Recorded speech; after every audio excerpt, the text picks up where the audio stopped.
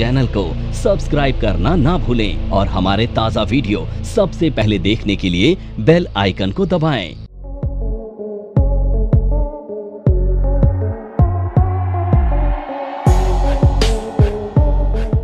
अब यहाँ पर दूसरा एक सिद्धांत बताता हूँ। अभी यहाँ पर तुम्हें एक चीज़ समझ में आई होगी कि अमेरिका में कुछ अच्छा या बुरा होगा तो उसका इम्पैक्ट ना बाकी कंट्री पे भी होगा। तो कोविड से शुरू करते हैं समझाने के लिए। तो कोविड एक ऐसा इवेंट था जो दुनिया के लिए बहुत बुरा इवेंट माना जा सकता है, क्योंकि दुनिया ने अपने प्यारे लोगों को खोया है, अपने रिश्तेदारों को खोया है, सगे संबंधियों को खोया है आस पड़ोसियों को खोया है। इतने सारे लोगों को खोने के बाद सिर्फ़ एक ही चीज़ समझ में आती है कि ये चीज़ नहीं होनी चाहिए थी। कोई बुरा इंसान भी है ना, वो भी इस बात को बोलता है कि यार नहीं होना चाहिए था। आप समझ पा रहे हैं? क्योंकि बहुत दुखद घटना थी पर इसकी शुरुआत कहाँ से हुई? चाइना से? अब तुम ये समझो कि क्या कोविड को रोका जा सकता था? नहीं रोका जा सकता था। पता है क्यों नहीं रोका जा सकता था? क्योंकि दुनिया ना ग्लोबल हो चुकी है आज के टाइम पे। आज के टाइम पे ना आप ये नहीं सोच सकते हैं कि जो आपकी कंट्री में चीज़ें बन रही है ना, वो दूसरी कंट्री में नहीं जाएँगी। ग्लोबलाइजेशन का मतलब होता है आपकी इकोनॉमी के दुनिया की इकोनॉमी के साथ जोड़ देना। इसी को ग्लोबलाइजेशन कहते हैं। और दुनिया की हर कंट्री में ग्लोबलाइजेशन हो चुका है। आप ऐसी चीज़ बोलें जो आपकी कंट्री में नहीं होती है पैदा, वो भी आपकी कंट्री में बेची और ख़रीदी जाती है।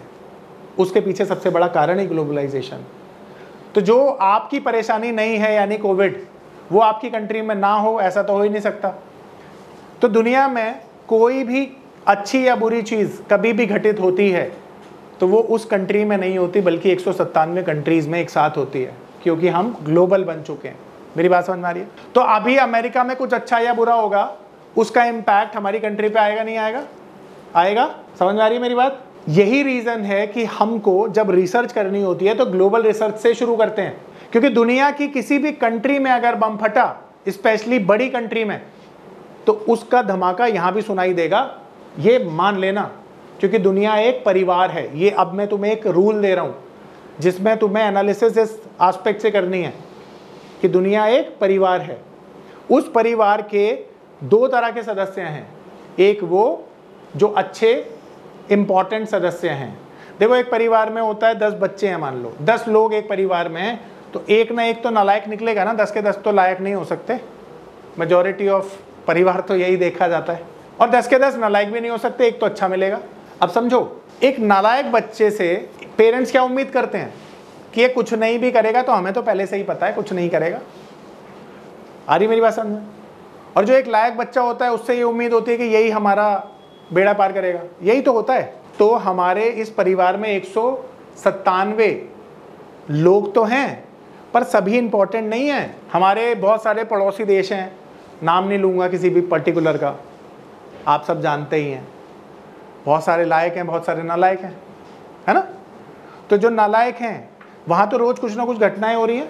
क्या दुनिया में किसी को कोई फ़र्क पड़ रहा है? नहीं।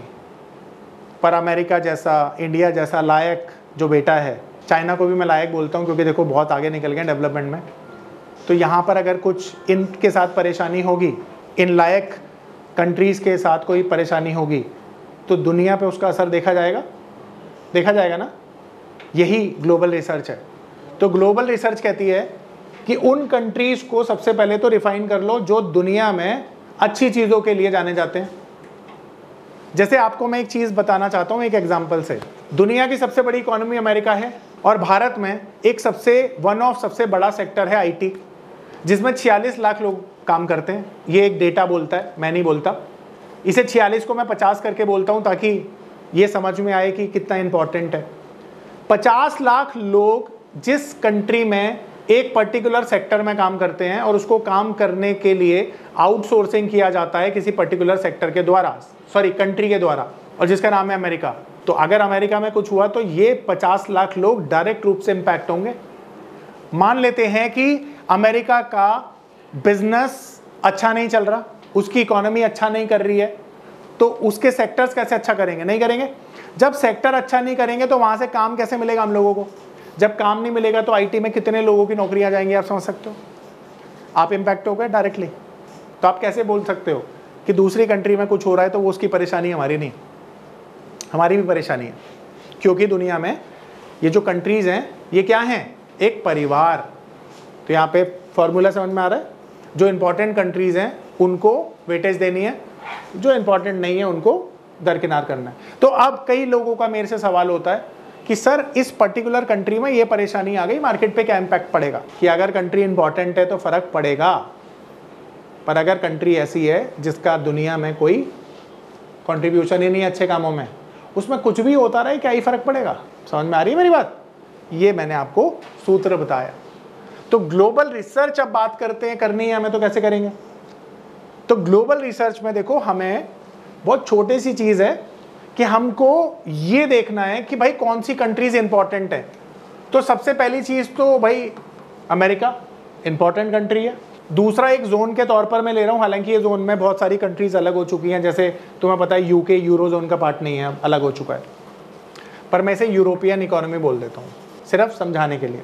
तीसरा एशियन जोन हो गया एशियन में भी बहुत सारी मार्केट आ जाती है। तो मेजरली तो ये तीनों जोन इंपॉर्टेंट है, ठीक है? अब यहाँ पर समझने की बात है कि हमारे लिए अब ये तीन एक तरह से जोन बन गए एक अमेरिकन मार्केट हो गया यूरोप में तीन मार्केट आती है, जो भी मैं बताता हूँ, और एशिया में वैसे तो आठ मार्केट हैं, पर हमें सिर्फ़ चार देखनी, जो इंपॉर्टेंट है। तो अब इसके लिए एक चीज़ समझ लेना कि हमारे टाइम जोन में बहुत ज़्यादा वेरिएशन है। अब अमेरिका का मार्केट टेक्निकली अगर आप देखोगे तो रात को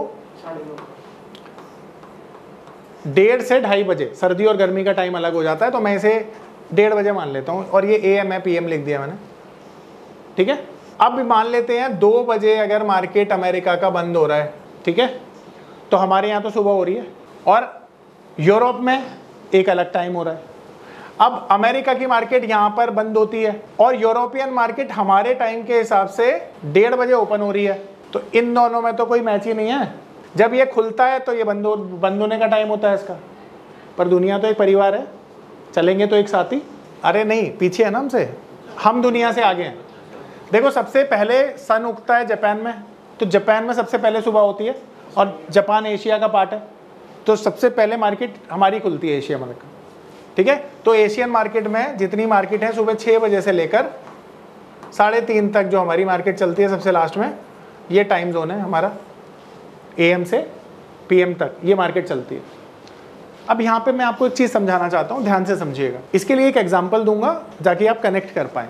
तो ऐसा सोचो कि तुम द्वारका में किसी सोसाइटी को जानते हो एक्स वाई जेड कोई सोसाइटी है, और उस सोसाइटी में हाई क्लास सिक्योरिटी है, वहाँ पर किसी तरह की कोई चोर एंटर नहीं कर सकता, पर वहाँ पर एक बड़ी रॉबरी हो जाती है। मान लो, भगवान ना करे ऐसा कभी हो। सिर्फ़ हम समझने के लिए एग्ज़ाम्पल ले रहे हैं, और ये मैं द्वारका ही क्यों बोल रहा हूँ? तो हम बात करते हैं, दुनिया में एक ऐसी सोसाइटी है, जो बहुत हाई क्लास सोसाइटी है हाई सिक्योरिटी वहाँ पर रहती है। कोई चोरी नहीं हो सकती।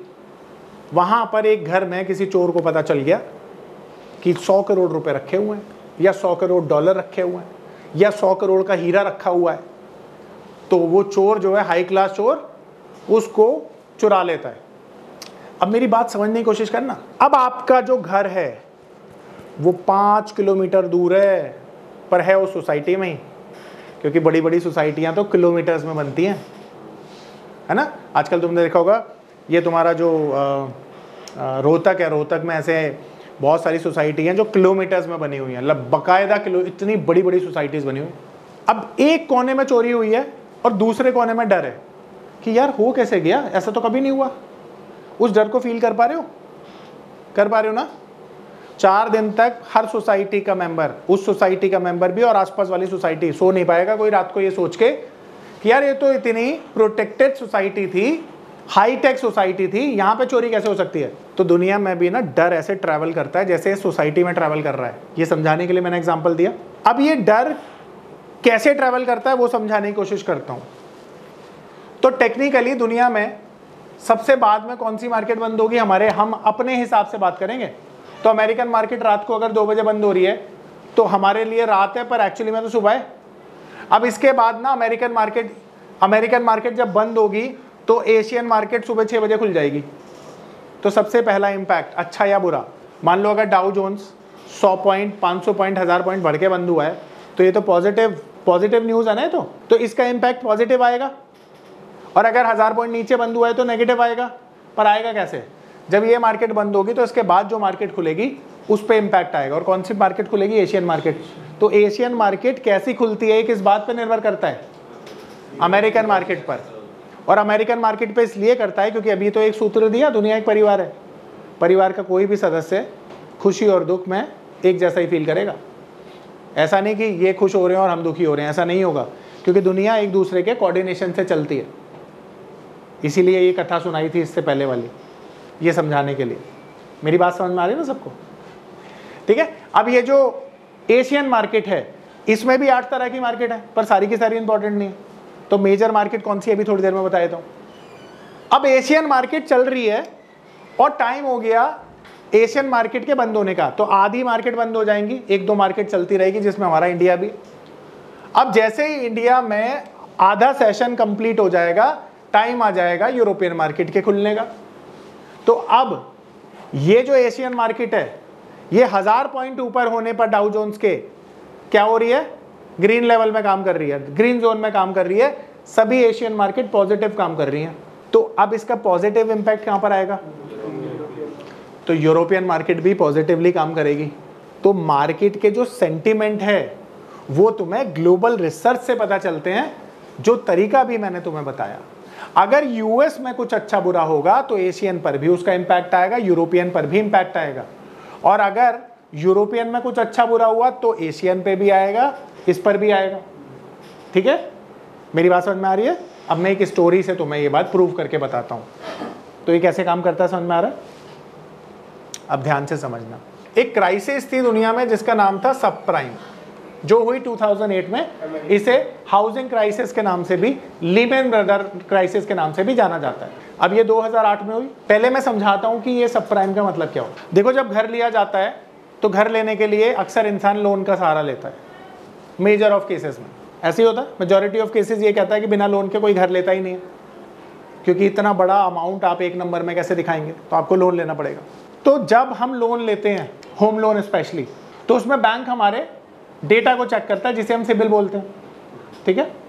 उसमें हमारा क्रेडिट स्कोर होता है। जो बेस्ड ऑन हमारा लोन हिस्ट्री पर डिपेंड करता है रीपेमेंट कैपेसिटी पे डिपेंड करता है और बहुत सारी चीज़ें और होती हैं। तब बैंक डिसाइड करता है कि इसको एक करोड़ का लोन दिया जाना चाहिए या पचास लाख का ये बैंक डिसाइड करेगा based on your CIBIL score अब समस्या ये आ जाती है कि जब किसी भी बंदे का जो अर्निंग कैपेसिटी है वो कम है और लोन उसको ज़्यादा दे दिया जाए तो ये तो अंडर एलिजिबिलिटी लोन हुआ ना। कि बैंक की साठ गांठ से किसी इंसान को जो कम लोन डिजर्व करता है, उसको ज़्यादा लोन दिया जाए। इसी को सब प्राइम लोन बोलते हैं। तो सब प्राइम लोन क्या होता है? आपकी एलिजिबिलिटी से ज़्यादा आपको लोन दिया जाए। अब एक बात सोचिए कि अगर किसी की अर्निंग कैपेसिटी एक लाख है और रीपेइंग कैपेसिटी सिर्फ़ दस हज़ार है, और उसको आप लोन दे दो दो लाख ज़्यादा लोन दे दो, आप समझ पा रहे हो? इसे मैं दोबारा से बोलता हूँ। मान लेते हैं किसी की रीपेमेंट जो कैपेसिटी है, वो एक लाख है, कि रीपे वो एक लाख रुपए कर सकता है, और उसको लोन दे दिया आपने दो लाख का तो क्या वो डिफ़ॉल्ट करेगा, नहीं करेगा? करेगा ना? इसी को हम क्या बोलेंगे? सब प्राइम लोन बोलेंगे। तो सब प्राइम लोन दिए जा रहे थे अमेरिका में, क्योंकि घर वहाँ पे बहुत रफ्तार से बिक रहे थे। और एक दिन वही हुआ जिसका डर बहुत सारे लोगों को था। बबल बस्ट हुआ। और बबल जब बस्ट हुआ ना तो हाउसिंग क्रैश हो गए। हाउसिंग प्राइजेस नीचे आ गए और जो लोन था इसमें सबसे बड़े लेवल पे इन्वॉल्व लीमैन ब्रदर वो बर्बाद हो गया। जब ये न्यूज़ मार्केट में आई कि लीमैन ब्रदर ने अपने आप को दिवालिया घोषित कर दिया है, दुनिया के मार्केट नीचे थे डाउनफॉल आ गया था लोअर सर्किट पे लगे हुए थे। तो क्या हमारा मार्केट इससे बच सकता था? नहीं, हमारे मार्केट में भी लोअर सर्किट लगा। बट सबसे पहले कहाँ लगा? अमेरिका में। और वो न्यूज़ ट्रैवल कैसे कर रही थी? अमेरिका से एशिया एशिया से यूरोप। ऐसी तो ट्रैवल करेगी जो अभी पढ़ाया। तो इस तरह से आप देखते हो कि ग्लोबल मार्केट एक दूसरे को इम्पैक्ट करती है। देखो, आपको कभी भी ना दुनिया की परेशानी को इस तरह से नहीं लेना कि ये दुनिया की आपकी नहीं है। अगर दुनिया की कोई काबिल कंट्री जिसका दुनिया में बहुत ज़्यादा एक तरह से बोल सकते हो डिस्ट्रीब्यूशन है अच्छे अच्छे कामों में तो वो कंट्री में कभी भी प्रॉब्लम आएगी तो दुनिया की बाकी कंट्री भी प्रॉब्लम फेस करेगी, ये अटल सत्य है। और इसीलिए हमें ग्लोबल रिसर्च करनी पड़ती है। मेरी बात समझ में आ रही है? अब इसे कैसे किया जाता है वो समझाने की कोशिश करता हूँ। तो इसके लिए हम मनी कंट्रोल पर जाते हैं। जैसा आप जानते हो मनी कंट्रोल एक ऐप है और यहाँ पे हम सीखेंगे कि भाई किस तरह से ये हमें हेल्प करता है। तो हम यहाँ पर मनी कंट्रोल टाइप कर देते हैं। मनी कंट्रोल ये आ गया। और मनी कंट्रोल पे, ये ग्लोबल मार्केट आप देख पा रहे हैं ग्लोबल मार्केट इंडाइसेस देख पा रहे हैं, हमें इसे सेलेक्ट कर लेना। तो ग्लोबल मार्केट इंडाइस हमने देख लिया एंड देन आप देख रहे हो ये ग्लोबल मार्केट इंडाइस दिख रहे हैं आपको। अब यहाँ पर Dow Jones S and P five hundred और नैसडैक ये तीनों जो इंडेक्स है ना, ये अमेरिकन मार्केट के इंडेक्स हैं। जैसे हमारा निफ्टी सनसेट बैंक निफ्टी है, ठीक उसी तरह से यहाँ पे तीन इंडेक्स मेजर काम करते हैं। जिसमें डाउ जोन्स है एस एन पी फाइव है और नैसडैक है। अब यहाँ पर आप देखोगे कि ये मार्केट हमारे टाइम जोन के हिसाब से दो बजे बंद होने वाली है। इसके बाद मार्केट खुलने वाली है एशियन मार्केट यानी ये जो आप देख रहे हो। अब यहाँ पर ये जो निकई है जापान का मार्केट है, जो सबसे पहले खुलेगा। हैंगसेंग हांगकांग का मार्केट है स्ट्रेट टाइम्स आपका सिंगापुर का मार्केट है सिंगापुर और शांघाई कॉम्पोजिट चाइना का ठीक है? अब ये यहाँ पे KOSPI SET composite Jakarta composite ये बहुत छोटे छोटे मार्केट्स हैं। कोरिया ताइवान इस तरह से। अब इनको हम करेंगे निग्लेक्ट अवॉइड कर देंगे हमारे लिए इंपॉर्टेंट है इंडियन मार्केट ये तो हमारे इंडेक्स है ना? निकई समहाउ चलो स्ट्रेट टाइम्स भी देख लेना। हैंगसेंग हांगकांग का मार्केट अब आप बोलोगे, सर हांगकांग तो एक छोटी सी कंट्री है। पर उसका स्टॉक मार्केट हमारे स्टॉक मार्केट से बड़ा है। यानी ये ध्यान रखो, ये छोटी मार्केट नहीं है, ये बहुत बड़ा मार्केट है। ठीक है तो हमारा जैसे निफ्टी का मार्केट कैप चार लाख करोड़ का है। इनका भी छोटा नहीं है, बहुत बड़ा मार्केट कैप है। अब तो हम इनसे आगे निकल गए। ठीक है, पर ये भी छोटा मार्केट नहीं है, ध्यान रखना। और शंघाई, अब देखो आजकल क्या होता है ना, आजकल मैं शंघाई को देखने के लिए नहीं बोलता आपको। उसके पीछे रीजन है कि इनका मार्केट पिछले तीन सालों में ना यहीं से, यहीं पे है। दुनिया की मार्केट डबल हो गई, ट्रिपल हो गई, ये यहीं पर है। इसके पीछे का रीजन समझते हो? चाइना गवर्नमेंट का इन्वेस्टमेंट का जो स्ट्रेटेजी है या इन्वेस्टमेंट के जो लॉज हैं, वो आसान नहीं है। चाइना मार्केट में इन्वेस्टमेंट करना आपके ऊपर है, पर उस इन्वेस्टमेंट को निकाल के लिक्विडेट करना आप नहीं तय करते हो। सरकार ने बहुत नियम बना रखे हैं। तो इसीलिए चाइना के मार्केट में अब नई इन्वेस्टमेंट तो आती नहीं है।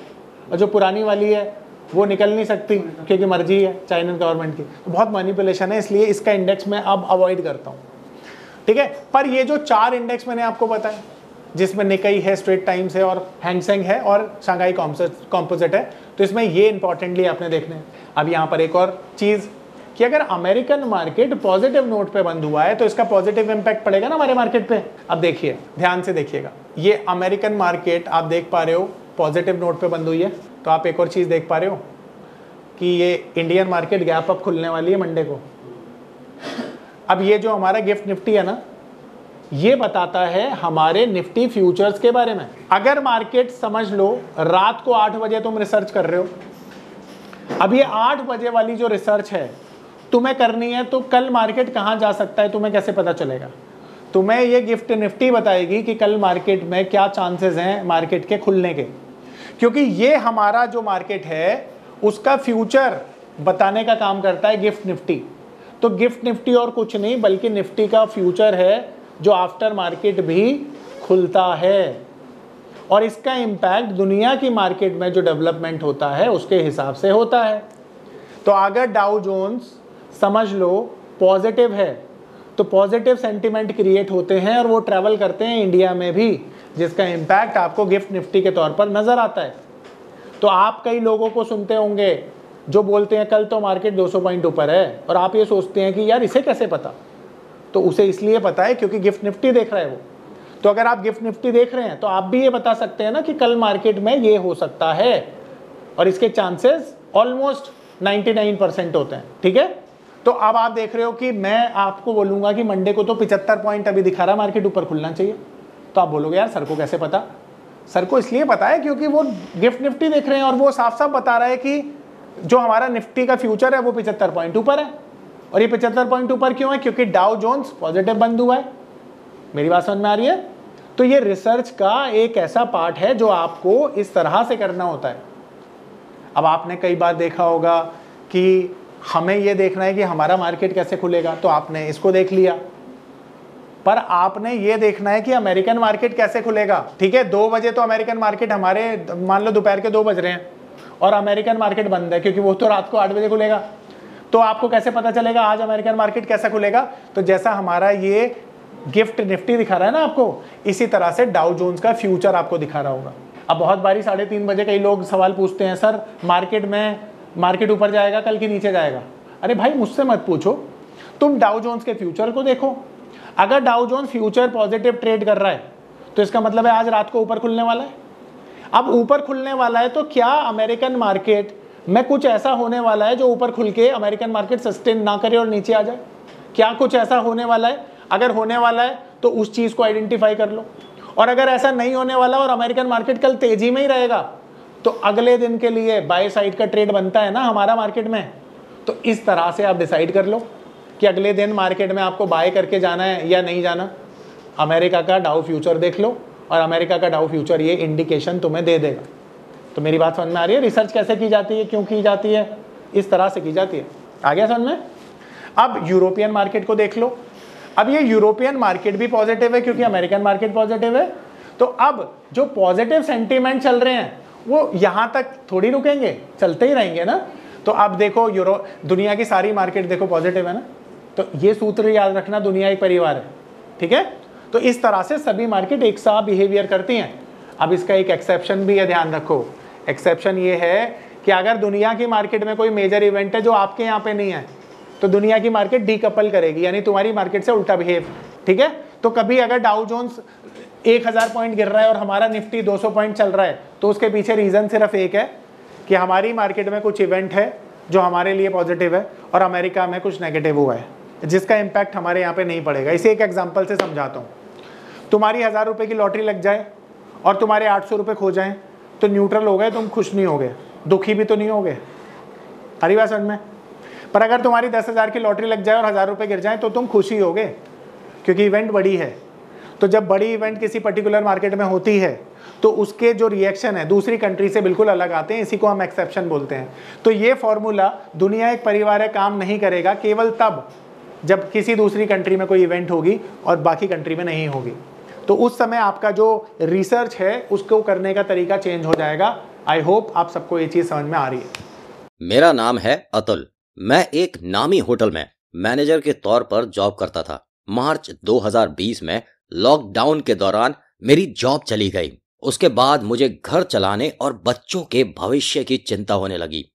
फिर मैंने शेयर मार्केट के फ़ील्ड में ऑनलाइन कुछ करने का प्लान किया, लेकिन मुझे शेयर मार्केट का एबीसीडी भी नहीं आता था। फिर मैं एक ऐसे प्लेटफॉर्म को खोजने लगा, जो मुझे घर बैठे सही और सरल भाषा में शेयर मार्केट में ट्रेडिंग करना सिखा सके। तभी मुझे मिला एन आई एफ़ एम का online education platform www.onlinenifm.com NIFM के ऑनलाइन एजुकेशन प्लेटफॉर्म पर बहुत से ऐसे कोर्स थे जिनसे मैं अपने स्टॉक मार्केट में इन्वेस्टमेंट और ट्रेडिंग के सपनों को पूरा कर सकता था।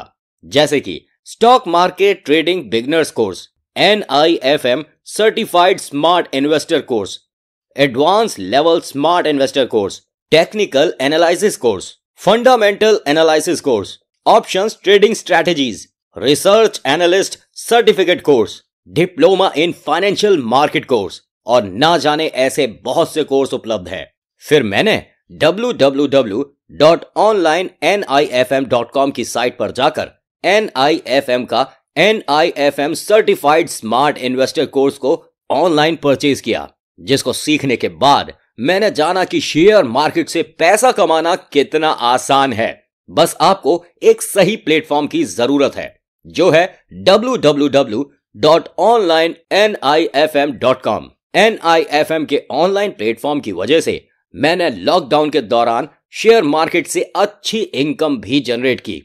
थैंक्स एनआईएफएम जिसकी वजह से आज मैं एक होटल मैनेजर से प्रोफेशनल ट्रेडर बन पाया। Call at five triple eight six eight four seven five और visit W W W dot online N I F M dot com